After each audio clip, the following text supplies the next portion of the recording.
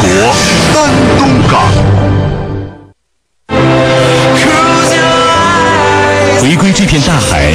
发现真正的自己。我的国度，我的第二人生。雅居乐海南清水湾海景公寓独栋全球发售。保护嗓子，请用金嗓子喉片。眼都看花了，该怎么选呢？那就要看清楚了，弄清行程的细节，了解自费项目到底包括了什么。去澳门玩的话，会有当地的导游接待我们，他们都会有工作证，并派发行程表。行程内容问清楚，乐游澳门更放心。如有查询，请拨澳门旅游热线。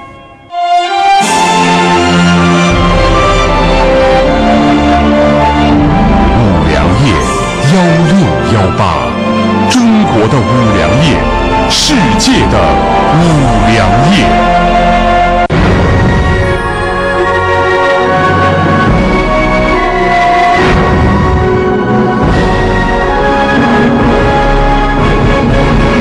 中国骄子，中国梦想。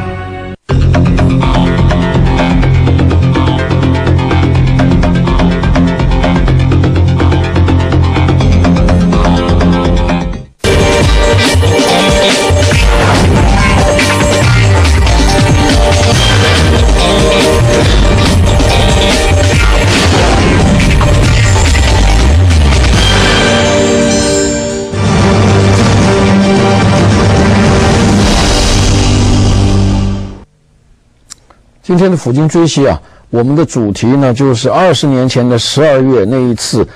俄罗斯、白俄罗斯、乌克兰三方领导人的会议。一九九一年十二月八号，苏联的俄罗斯、乌克兰以及白俄罗斯领导人签署了建立独立国家联合体的决定，走出苏联解体的第一步。苏联这个横跨亚欧的超级大国，虽然在重工业和军事上都相当发达，但是人民的生活水平一直不高，加上高度集中的政治体制缺乏民主，号称代表人民利益的党干部与人民的利益背道而驰，苏联的解体也就不可避免了。一九九一年八月十九号，苏共的保守派软禁了当时在黑海度假的苏联总统戈尔巴乔夫，试图收回下放给加盟共和国的权利，同时终止不成功的经济革命。虽然政变在维持了仅仅三天后便失败，戈尔巴乔夫也恢复了职务，但是此时的加盟各国已犹如一盘散沙，纷纷效仿早在三月初就已宣布独立的立陶宛，先后发表了宣布恢复或收复主权的声明，并开始制定实现独立的步骤和措施。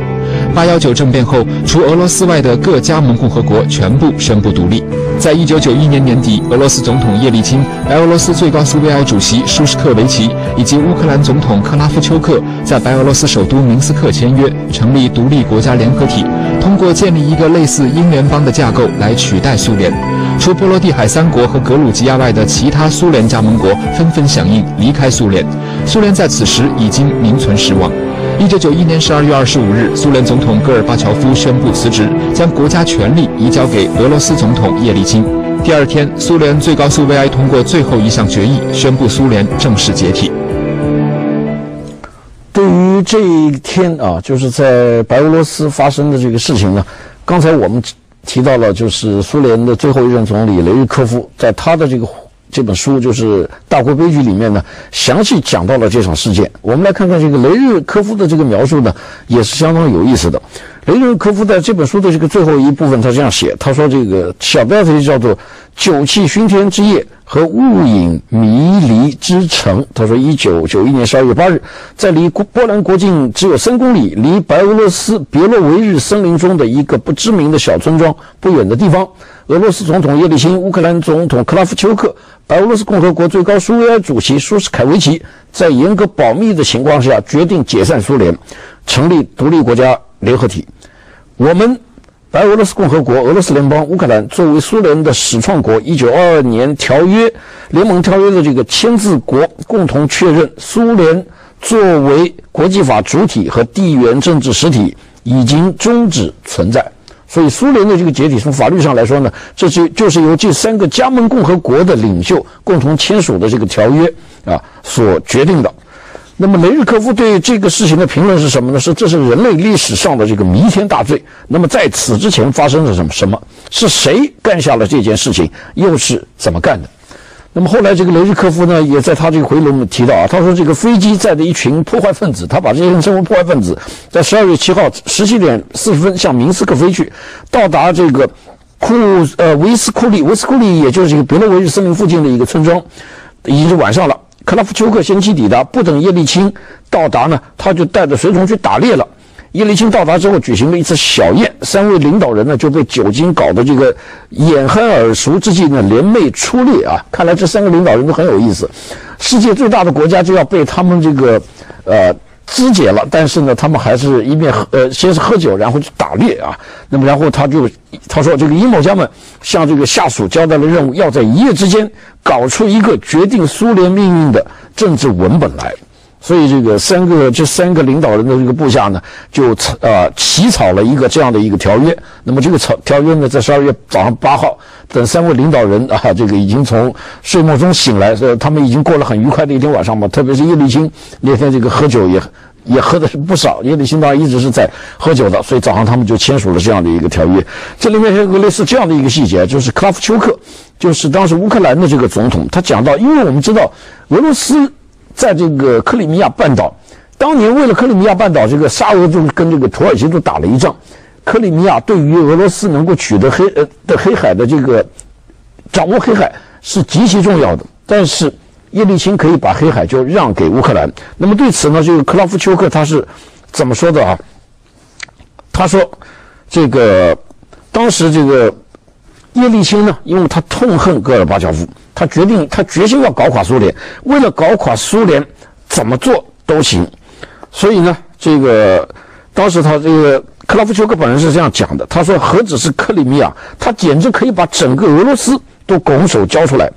那么现在清楚了，当乌克兰代表团启程去别洛维呃别洛维日的时候，已经胸有成竹。俄罗斯人是不打算把塞瓦斯托波尔包括在自己的版图内的，他们甚至同意让这，其实乌克兰都已经同意让这个克里米亚划归这个俄国了，但是叶利钦对此提都没有提。可以看得出来，当时我们说这个十二月八号的这个。三国领导人的这个会见，虽然它是临时起意的，但是它却是一系列事件的一个必然的这个反应。也可以看得出来，这个拥有七十年历史的这个横跨欧亚的这个，也是世界上最大型的帝国之一，它的这个结局呢，就是无可奈何花落去。各种各样内在的原因、外在的原因、政治的、经济的、文化的、民族的这个原因，最后导致了这个国家的这个崩溃。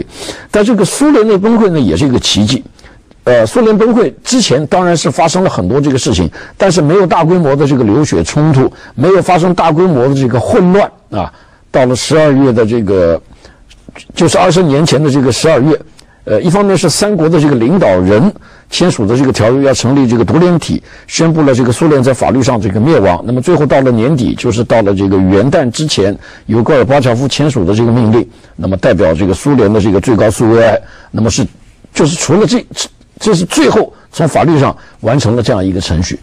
那么苏联也就这样解体了。后来这个苏联共产党也解散了，所以我们就看到了这个在二十世纪这样一个强大的一呃世界上最早掌权的共产党，世界上最大的社会主义国家，那么就在这样的一种无声无息啊，既没有经过战争，也没有经过大规模的这个动乱的这样的一个情况下，苏联共产党。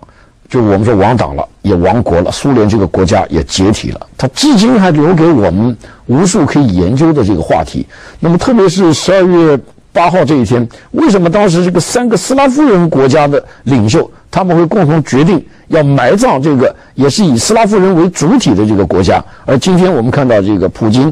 在。他说了，他上台以后，他要重建，要把这个，他已经做到了这点，就是让这个俄罗斯、白俄罗斯以及一个非斯拉夫人的国家，就是中亚的，但是中亚最大的这个前苏联加盟共和国，就是哈萨克斯坦，他们要重新建立一个。欧亚共同体，而这个欧亚共同体呢，被很多这个西方人看成是苏联的一个翻版，但是我相信这不是，也不可能是苏联的翻版。但是他还是表明了，普京想要在这个苏联解体这个悲剧的一个基础上，在一定程度上，他要重新来复兴、重新来振兴俄罗斯的这样的一种努力。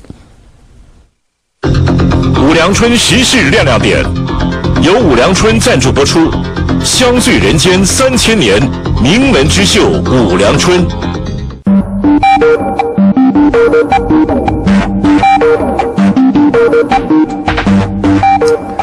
中共和越共、中国和越南两党和两国的关系要如何维持和发展？习近平明天开始越南之行就非常引人关注。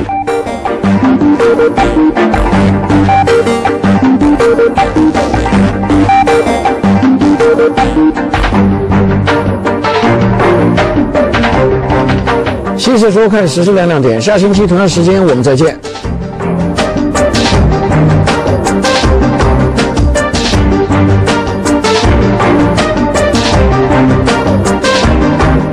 为您播出《完美与梦想同行》。